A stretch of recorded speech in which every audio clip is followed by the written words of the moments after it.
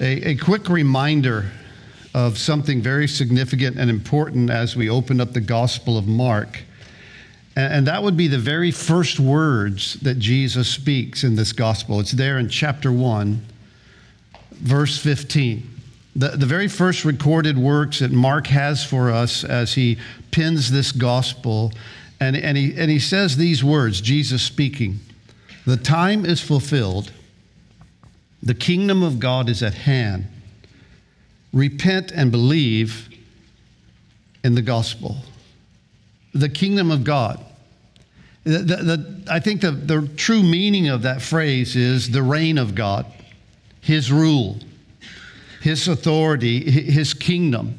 And not just those things, but a life lived under His rule a life lived under his authority and his kingdom and his power and his mercy and his grace. And Jesus is proclaiming that that's not off in the future, that's not somewhere in the past, but it's, it's here now. He's arrived. And he begins to call. We saw Simon and Andrew and James and John. They, they leave their nets, they leave their vocation, their family business, so to speak, and they, they come under the kingdom, under the rule and authority of Jesus Christ. He goes into a synagogue into their hometown there in Capernaum. And Jesus opens the scriptures, he begins to teach. And you know the story, the people are like blown away, they're amazed. They're like, he's teaching with authority like we've never heard before.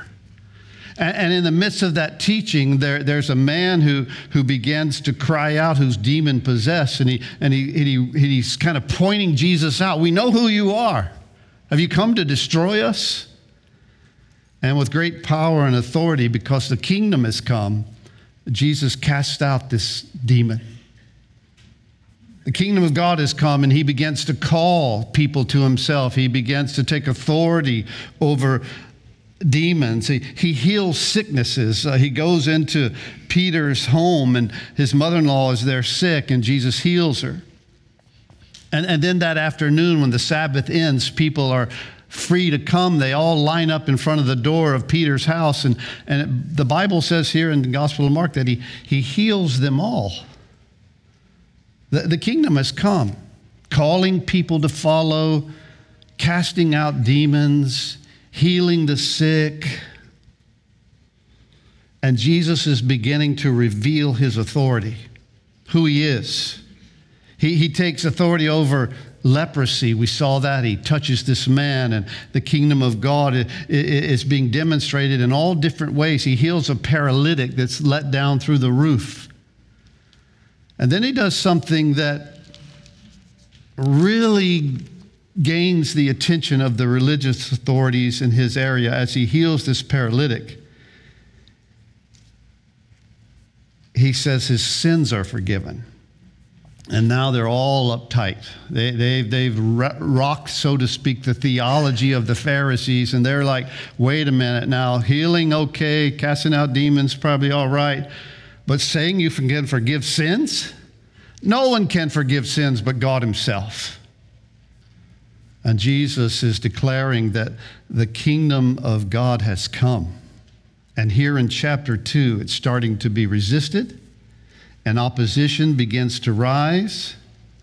Jesus has come in all his power and all his authority. And I would submit to you that almost instantly it begins to be revealed to all those around. And it's shaking up the town, it's shaking up the religious system, so to speak. And now, as we see today in our, in our passage, and we'll begin in verse 13, he calls another disciple, and they have trouble with this guy. They're, they're in verse 13 of chapter 2 here in the Gospel of Mark. And he went out again by the sea, and all the multitude came to him, and he taught them. And as he passed by, he saw Levi, which we would also call Matthew, the son of Alphaeus, sitting at the tax office, and he said to him, Follow me. Now, now if there was a contest in Capernaum to choose the most hated Jew around, Levi, well, he would win hands down. He was a tax collector. He's known to us once again as Matthew. He would sit at the toll gate there in Capernaum, and people passing from the north, south, east, and west. He would tax the fishing industry there. And here's the thing about a tax collector there, there's no posted tax rates. Levi could check your cart, or he could check your sacks, or check whatever you're bringing through the border there into the city. And he could look them over, and then he would just give you a price. And he had the Roman soldiers there on his side to make sure that you obeyed, to make sure that you paid your tax. He, he would sit there and, and, and, and he, he had this function as a tax collector working for, for Rome, but he was a Jew. And he was despised not only by the Jews, but also by the Roman government, even though he's one of their official tax collectors, because they saw him as a traitor to his own people. He had a quota to raise, but the profit he got above that through cheating and intimidating and bribery, well, he kept for himself. That's how he made his money. He most likely lived in luxury and wealth, but his only friends, his only associates, would be other hated tax collectors and people like himself. No family member, no other Jew or Roman would have anything to do socially with the tax collector. So the question's this why would Jesus call Levi? Why would he call Matthew? Well, one of the top number one reasons is this Jesus specializes in rejects. I mean, look around. right? He specializes in them. That's who he calls. He, he, he goes after them. Simon, Andrew, James, John. See, they have family, they have jobs that are respected in the community. If following Jesus doesn't work out for them, they can most likely go back, back to their home, back to their fishing business. But once Levi breaks contract with the Romans, hey, he's done. He's got nowhere to go back to. And Jesus has big plans for Levi. And I would submit that Jesus has plans for everybody. That's why he called you to himself. That, that's why he came to you as, as the one who, who brings the kingdom of God or the rule or authority into your life. I'll never forget when I first got saved. You've probably heard this story. I, I, I was really shy at that time in my life, and I was attending a new believers class at this church, and they were having all of us new Christians share our testimony each Sunday about 10 minutes.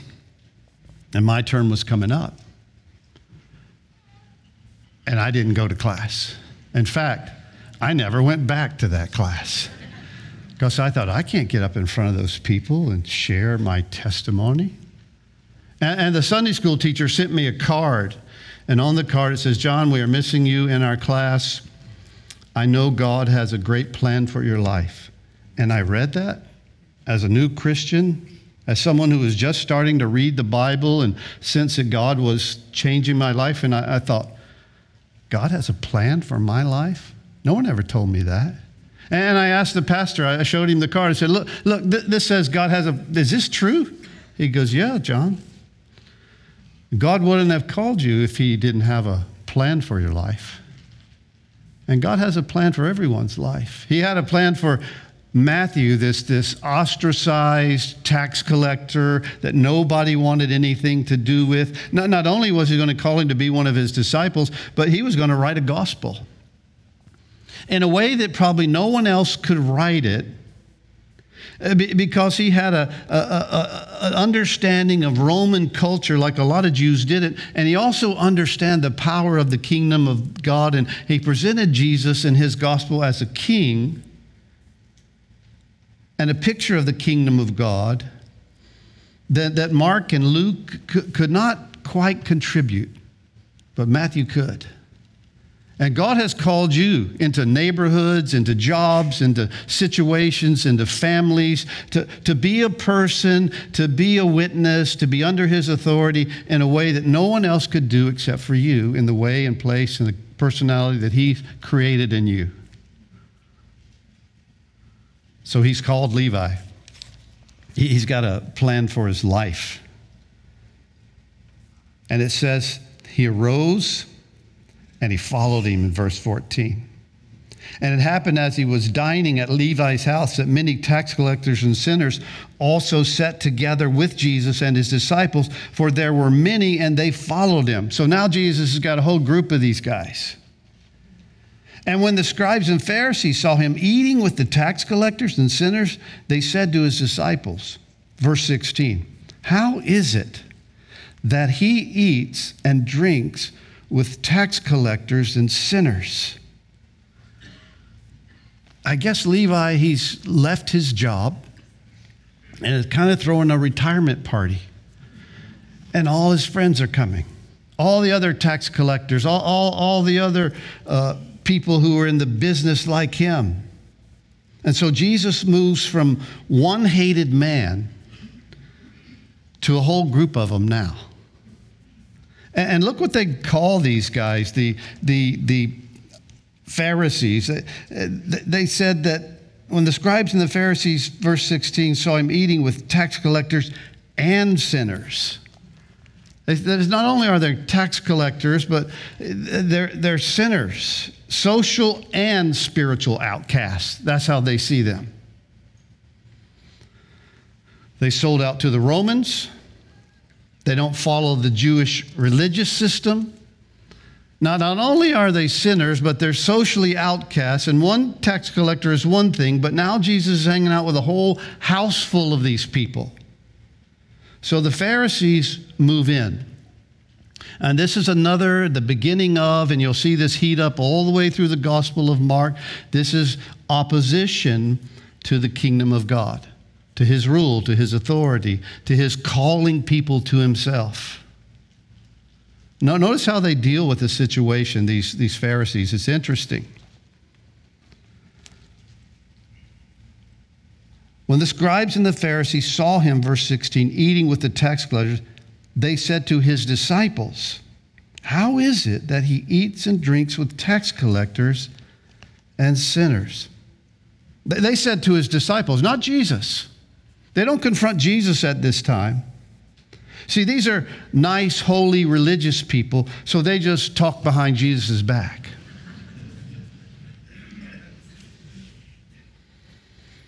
to his disciples, hoping to plant a seed of doubt in their hearts. They're, they're backbiting Jesus, is what they do. You know, it's like, how is it that your pastor hangs out with those people? Are you sure you want to go to his church? Do you want to follow that guy? I mean, this is what they're doing. See, I don't know if Jesus heard or if he discerned their hearts or the disciples told him what they said. Someone once said it takes two people to take you down your enemy to slander you, and your friends to tell you about it. Jesus cites an old proverb. He responds when he, he knows what's going down, he, he, he understands. And, and this is what he says. And when Jesus heard it, he said to them, Those who are well have no need of a physician, but those who are sick, I did not come to call the righteous, but sinners to repentance. So, so Jesus agrees with these guys almost immediately. He goes, Yeah, these guys are sick. They're really sick. You're right about them. They're sinners. They're, they're, they're, publicans. Uh, you know, they, they, they need a doctor. But doctors hang out with sick people. Not because they like sickness. I don't think a lot of doctors like go to work and think, wow, I get to hang out with sick people today. Right? But, but they go hang out with sick people because they want to heal sick people. And that's what Jesus has come to do. It's not like Jesus loves hanging out with sinners, like, oh, I just love being around these lying, cheating, you know, traitorous people. No, Jesus comes to change them, to, to, to bring healing to their sickness. See, it makes as much sense for Jesus and you and I to stay away from sinners as it does a doctor to stay away from sick people because the motive is not to become like them, but to help change them. Sinners and sick people both need healing. And Jesus says, Well, you guys are so righteous, and that's what they thought they were, that you don't need me, Jesus says. But these guys are so sick, they need me. And this is a situation a lot of times with people, they, they think, well, I don't need to be saved, or I don't need Jesus, or, you know, I'm not that bad. I'm a pretty good person. I've never done anything that wrong. And they cut themselves off from really ever experiencing the kingdom of God, the, the, the purpose of God in their life and the, the ability to, to experience true change and have His authority in their life. And so the Pharisees kind of, they're, they're just shut down. Well, yeah, we are pretty good people. Yeah, you're right. We don't need a doctor. Kind of like Satan in the wilderness, he just kind of backs off. And Jesus is revealing the kingdom of God. See, he's come for everybody, all classes all strata of life, and He gives hope for everyone. Some people truly think they're not sinners. Well, I'm not like those people who have, need a crutch, who need Jesus. And Jesus truly can't help self righteous people who can't admit they have a need for a Savior. They block him off. So Jesus says, Look, I came for those who are willing to admit I need help, willing to recognize that they, they, they need change in their lives. I, I have to recognize my need before I will come to Jesus. And so Jesus is in the midst of this revelation, this authority of the kingdom coming into people's lives. And there's those who resist it, and there's those who recognize very quickly how much they need it disciples, it says, of John. This is John the Baptist, verse 18.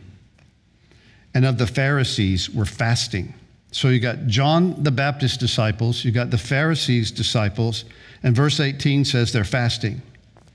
And they came to him, to Jesus. Now, now they're confronting Jesus personally. Why do the disciples of John and of the Pharisees fast but your disciples do not. So, so they're kind of turning up the heat. Now there's a face to face confrontation. The opposition is watching, they're waiting, they're, they're picking apart Jesus' lifestyle, his men. They're, they're watching what they're doing socially. They're, they're, they're saying, you know, these guys aren't, aren't even fasting. And fasting is a legitimate spiritual principle. I mean, Jesus had just fasted 40 days and 40 nights in the wilderness. It's not like Jesus was anti fast. But according to the biblical law, the Jews are required to fast only one time a year, and that's on the Day of Atonement. But the Pharisees had, had overextended the law and demanded fasting at least two days a week. And here's what you would do if you were a Pharisee or a disciple of a Pharisee or one of John's disciples and you were fasting, and most likely John's disciples were fasting because John was imprisoned or at this time he had been beheaded, we don't know. But you would wipe your face out with this powder. And you would put on this robe over your robe that was cut up and it would, it would look, you know, uh, all fringed out. And it would make you look sad or it was a symbol of repentance or mourning. And so you would see these guys with their white out face and their ragged clothes, and you would know immediately, oh, they're, they're, they're, they're fasting. They're obeying what the Pharisees say. They're mourning for John. And so they come to Jesus. I say, why aren't your men, why aren't your disciples fasting? And so Jesus, Jesus responds to them here in Mark chapter 2, verse 19. He said, Can the friends of the bridegroom fast while the bridegroom is with them. As long as they have the bridegroom with them, they cannot fast. But the days will come when the bridegroom will be taken away from them, and they will fast in those days. Jesus actually kind of quotes something that John the Baptist himself had said. And I, I put it up here on the screen. It's in John uh, chapter 3. They came to John, this is his disciples, and they said to him, Rabbi, calling John the Baptist their rabbi, he who was with you, speaking of Jesus beyond the Jordan, to whom you have testified, behold, he's baptizing. All are coming to him. And John answered and said, A man can receive nothing unless it has been given to him from heaven. You yourselves bear witness that I said, I'm not the Christ, but I've been sent before him. And, and then, he, then he says this He who has the bride is the bridegroom. But the friends of the bridegroom who stands and hear him rejoices greatly because of the bridegroom's voice. Therefore, this joy of mine is fulfilled. He must increase, but I must decrease. He spoke of Jesus, John did, as the bridegroom. And he says it's a time of joy. It's a time for me to decrease. And, and Jesus is using this, this same terminology of, of what John said about the bride and the bridegroom. See, after a Jewish wedding, very different from our weddings, the bride and the bridegroom don't run out of the church and everybody throw rice at them and then they take off for St. Simon's Island or wherever they're going. They, they don't make this exit. They, they spend a week celebrating,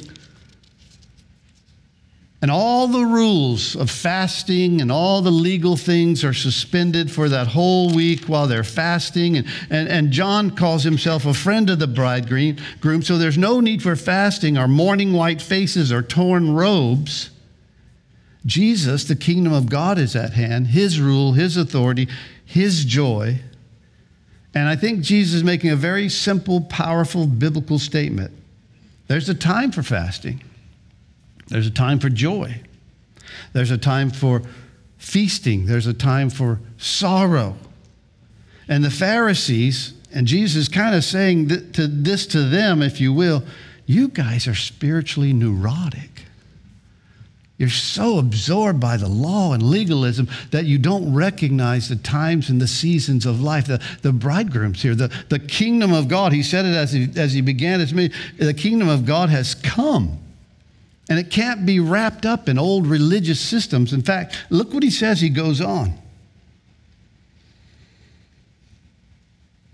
Have you not never read verse 25 when David what David did when he was in need and hungry? He and those with him, how he went into the house of God in the days of Abiathar the high priest and ate the showbread, which is not lawful to eat except for the priests, and he gave some to those who were with him. He says, you know, guys, you're so hung up that, that you don't even recognize that the kingdom of God is coming. It can't be wrapped in old religious forms and rites and rituals.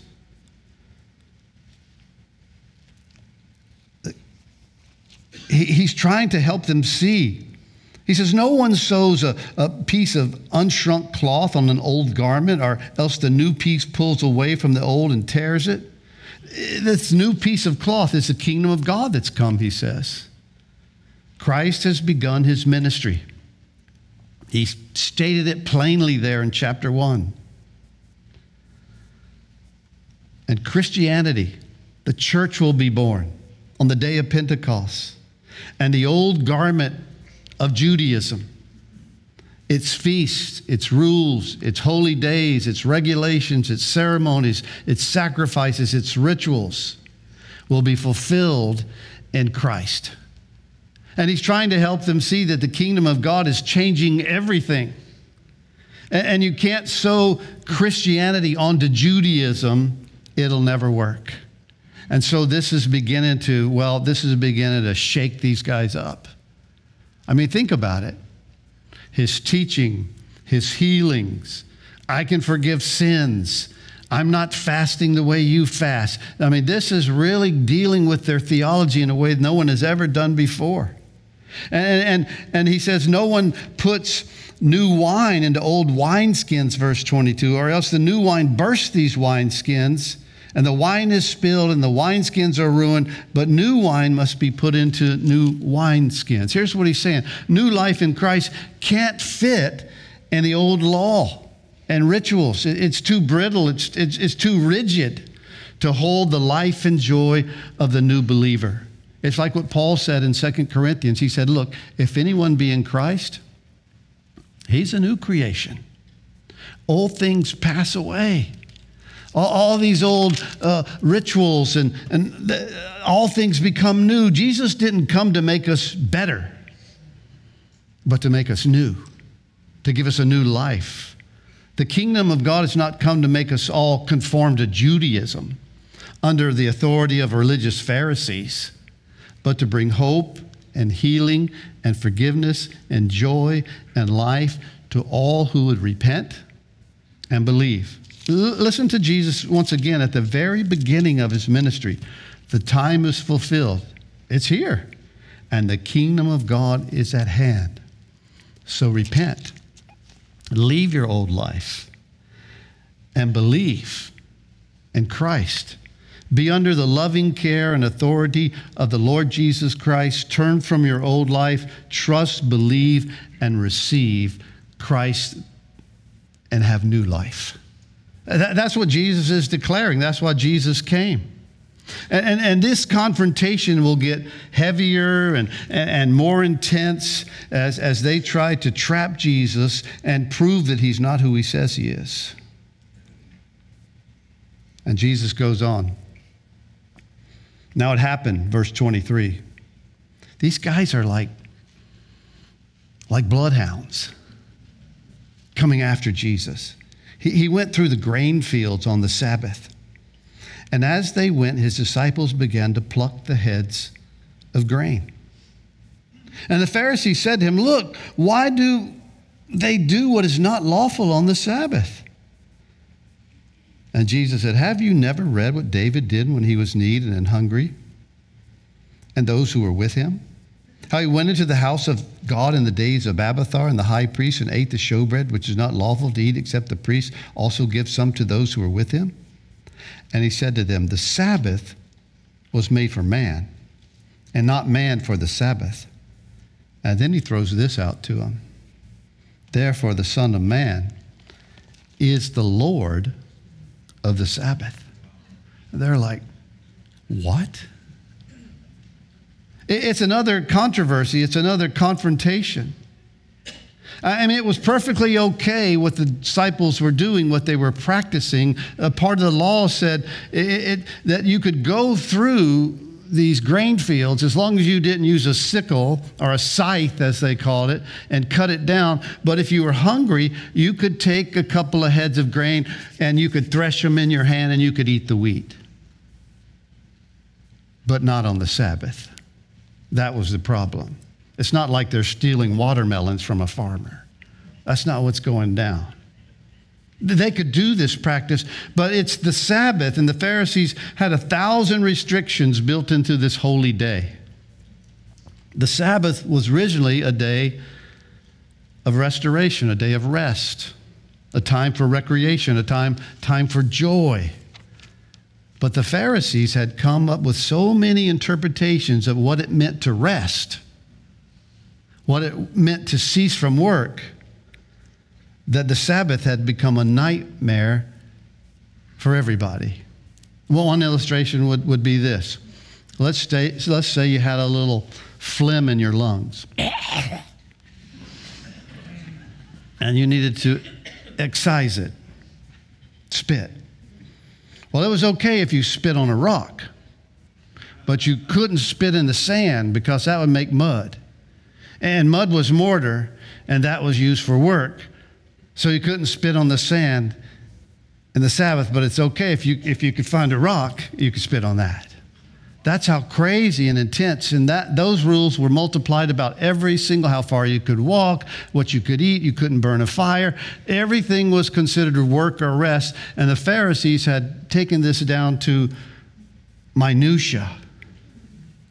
And Jesus reminds everyone why the Sabbath was made and how David was able to, to on, on, a, on a holy situation, take bread that was reserved for the priest because God was okay with it because he was hungry.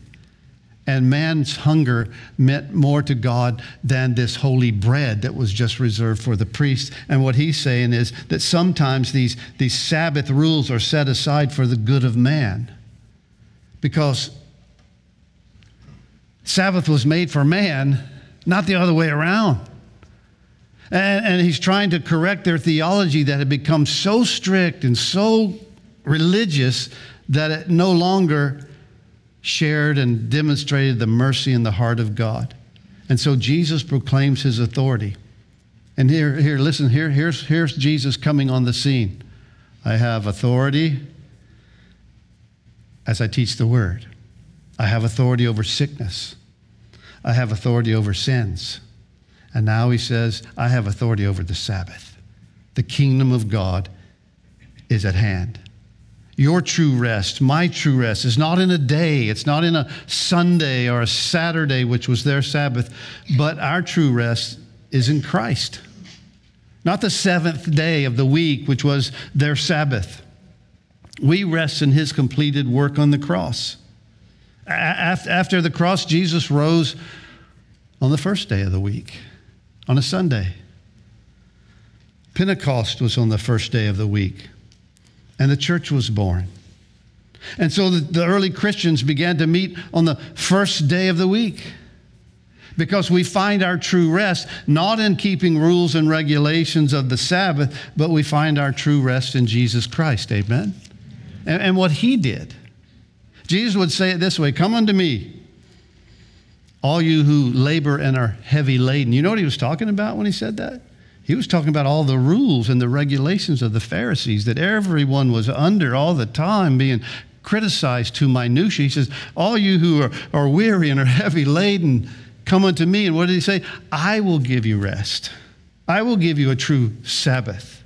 Rest from religion, rest from sin, rest from your aloneness, rest from the fear of death, rest from, from not having a peace within. And he would say, It'll come through me. I'm the Lord of the Sabbath. And Jesus would say, The kingdom of God is at hand. And I would submit to you that he still does that today. To those who have no rest, to those who have no peace, to, to, to those like myself who one day said, Does God truly have a plan for me? Yeah. And a rest. A rest from all your fears, a rest from, from a sense of no purpose in life the, the kingdom of God is at hand. And Jesus would say, it would go as far to say, either you're for me or you're against me. There's no middle ground. Well, I'm just kind of in the middle. I'm not for Jesus. I'm, no, no, you're either for him or against him. And then he would also say, Whosoever will may come. Doesn't matter how old, how young, how bad, how good, how early, how late. I stand at the door, he says, and I knock. If anyone will open the door, I'll come in. Yeah, but I tried that before. Well, you should try it again. Maybe you didn't do it right. Maybe you were just looking for a way out of some crisis situation instead of truly saying, I'm going to submit my life to the rule and authority because the kingdom of God has come. And that's what Jesus was doing. He was demonstrating to those who would listen. He was calling those who would follow. He was showing without a shadow of a doubt who he was. And yet there were those who were so caught in their own mindset and their own understanding of uh, who God was and the way he could be approached and how you had to live in fear that they were unwilling to really open their eyes and see that the kingdom of God had truly come. And so the opposition is beginning to rise, and they're confronting Jesus. And Jesus is trying to, I think, very lovingly and very persuasively show them who he is. And he will do that in your life and in my life. And you know what? Even after you come to Christ, he continues to deal with those things in your life that need to be surrendered and submitted. I, don't know about you, but while we were singing that song, Lord, make new wine. I'm thinking of all the things in my life right now. Yeah, Lord, that, that, that needs to change in me. Yeah, I do have a neighbor, Lord, that's driving me nuts. It's my wife. No, it's not my wife. I'm just kidding. That's a joke. but we all have issues. And there's this constant, ongoing thing of being surrendered to the kingdom of God, of allowing myself to say, Yeah, Lord, I, I, have kind of got, gotten back into that old habit or that old routine. There, there's that, that, that old saying, I'm sure you've heard it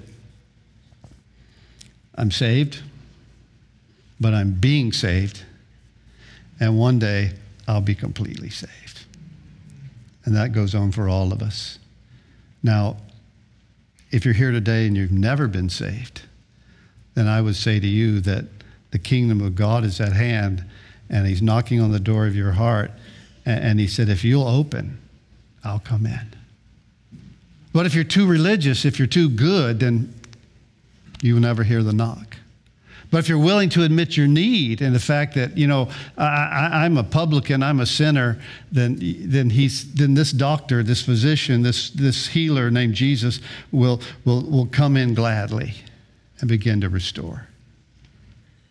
But if you're here and you're, you're kind of you're kind of one of those people who, well, I got saved, but man, I've never really surrendered to the kingdom of God. I, I've sort of wanted him to follow me versus me follow him. Then he's still in the process of helping you, calling you. And one day, all of us will be completely saved. We'll go to heaven. And I don't know about you, but in the culture and crazy world we live in, I can say with great anticipation, even so, come, Lord Jesus. Amen? Amen? I'm not looking forward to the next election.